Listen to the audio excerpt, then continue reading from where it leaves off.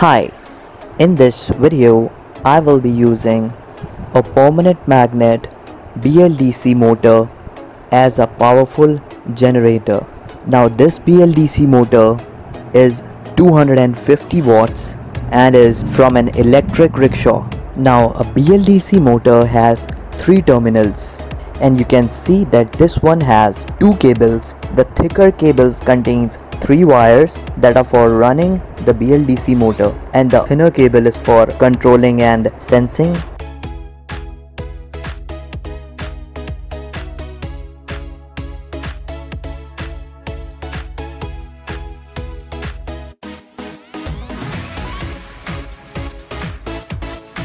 Since the controlling cables are not needed when using this as a generator so I'm going to remove them but I will still leave a little bit wire just in case if I'm going to use this motor as a motor in the future. Now the BLDC motors containing ferrite magnet are easy to rotate but these BLDC motors use neodymium magnets that have real strong magnetic locking which makes them really difficult to rotate with hands. So if you are planning on using them as a generator then you must consider this as a back factor. Also the magnetic locking is so high that it is almost impossible to give it a spin with your fingers when compared to our usual permanent magnet brushed DC motors or brushless ferrite magnet BLDC motors. The armature windings of this BLDC motor are star connected and the generated output from a BLDC motor is always alternating. Now you can see that there are three wires so it is three phase alternating current. Now I'm going to use a multimeter to measure the voltage across any two terminals of this BLDC motor since all the three terminals will produce same voltage because of equal number of turns for their armature winding. Now the voltage rating of this BLDC motor is 48 volts so for that reason I am going to choose any two terminals for checking the voltage. Also, the hand rotation voltage is going to be very low since the rated RPM of this BLDC motor is around 3000 for 48 volts. So, the maximum voltage that I can achieve through hand rotation is just 3 volts AC. Now, I'm going to use a plastic rope to rotate the shaft of this BLDC motor at a little higher RPM and let's see how much voltage I can obtain. So you can see that the maximum voltage I achieved was 14.6 volts with the rope and the voltage was open circuit meaning negligible current. Now for calculating the current generated by this BLDC motor when used as a generator I will have to use a bridge rectifier. Now since I don't have a three-phase bridge rectifier so I'm going to simply use a single phase bridge rectifier and then multiply that ampere with 3 for 3 phases. So for connecting the bridge rectifier to the BLDC motor, I will choose any two wires of the BLDC motor and connect them to the AC marked terminals on the bridge rectifier. This method is going to give me current for single phase. So the maximum hand rotation amp reading was 0.84 amperes which is 840 milliamperes. Now I will conduct the same test with rope rotation so you can see that the output current measurement gives an improved reading with the rope because it is easier to rotate the shaft this way. So the maximum current spike that I could achieve was 3.89 amperes which is almost 4 amperes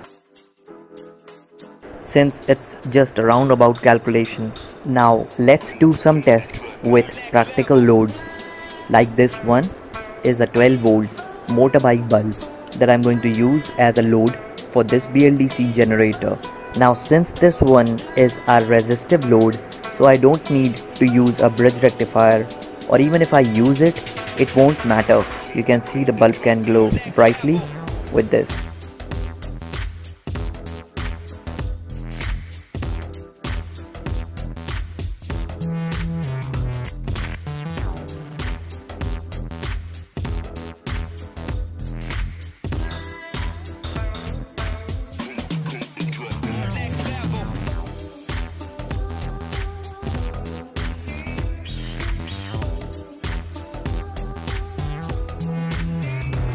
Now here what I have is an incandescent 12 volts 55 watts bulb but its glass is broken and still the filament is still connected between the terminals so it will glow for some time until the filament gets oxidized and burns up. So I'm going to test it with this generator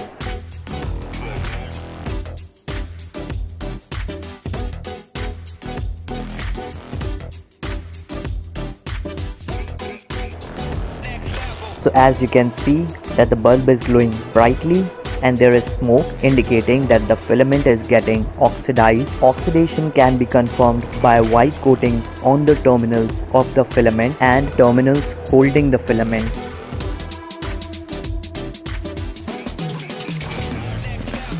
So guys, now I'm going to use a 12 volts to 120 volts transformer to step up the generated output voltage of the BLDC motor. Now the transformer is also the single phase transformer so I'm going to connect any two terminals from the BLDC motor to the thick winding which is the primary winding in this case of the transformer and to the secondary winding which is the high voltage winding 120 volt I will be connecting a holder.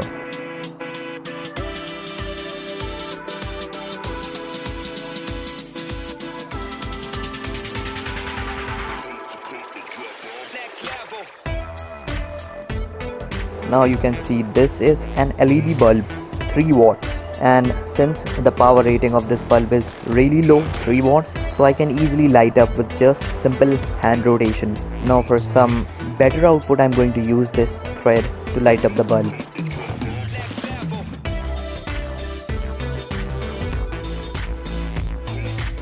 You can see that the bulb is glowing much brighter and more continuous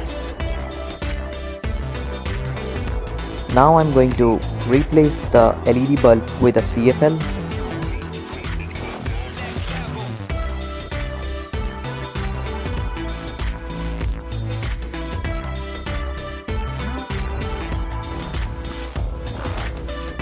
Now the CFL was 15 watts but this is a 100 watt incandescent bulb that is the final power output